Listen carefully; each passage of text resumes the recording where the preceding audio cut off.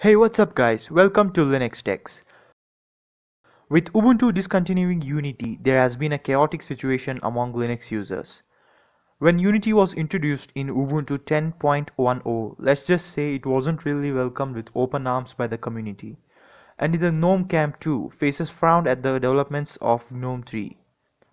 Linux Mint suddenly gained traction and became one of the top distros because of its desktop environment Cinnamon. Now, Ubuntu has dropped Unity and not everybody wants to use GNOME 3 desktop environment. So it's time to have a look at the alternatives. Let's begin. You can go with Mate, LXD, XFCE, but since they are designed to run on older, low muscle devices, they seem so 90s. And we are in 2017 year.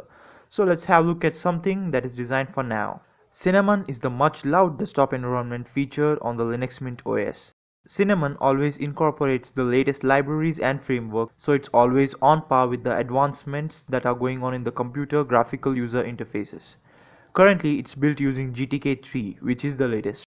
Cinnamon is very mature, it has a solid development team behind it and is absolutely bug free. All the software integrate beautifully with Cinnamon, whether they are built using GTK or Qt frameworks. Cinnamon is very light. If we consider the top 3 desktop environments, Cinnamon consumes the lowest RAM memory and is much faster than GNOME and KDE. Using Cinnamon is so much snappy. Apps pop open much faster than they do on GNOME or KDE. On Cinnamon, CPU cycles are not wasted rendering animation and stuff that's supposed to impress 7 year olds. Then, Cinnamon is highly configurable. You can configure Cinnamon to your liking very easily.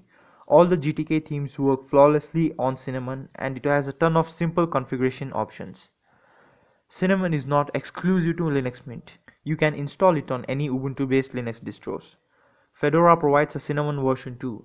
And of course you can install Cinnamon on Arch and Arch based Linux distros. I have used Antergos Cinnamon in this video and you can see that it is gorgeous. Well, if you want to give the awesome Cinnamon a try, download Linux Mint ISO from the link given in the description. Guys, that's it for today. Do subscribe for more some Linux stuff. Linux Tex over and out.